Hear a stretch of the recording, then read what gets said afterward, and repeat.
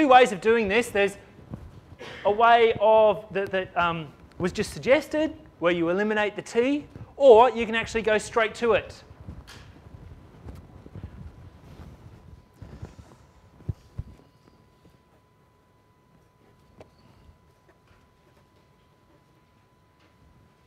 All right, so let x, well, I guess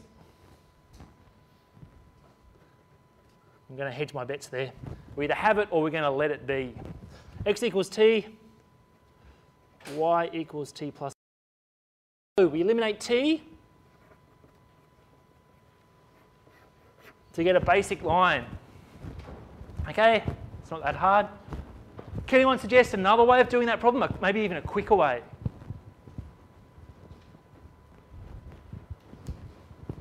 This is kind of the let's just grind through it way. Is there a slightly more enlightening way to do it?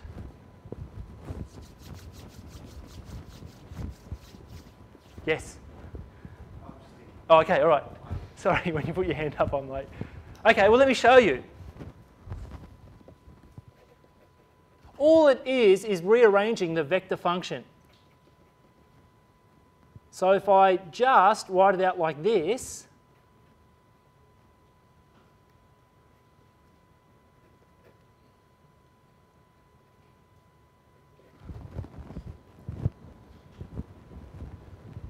we get the vector parameterization for a line in two dimensions. Okay? It's got to go through the point 0, 2, and it's got to be parallel to the vector 1, 1. So that's two ways. So that's two ways of solving the problem. This one's pretty quick. I've got to say I like that one. All right? So what would our line look like?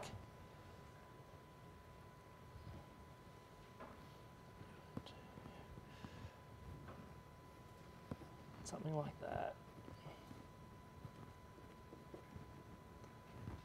Mm, okay, pretty straightforward.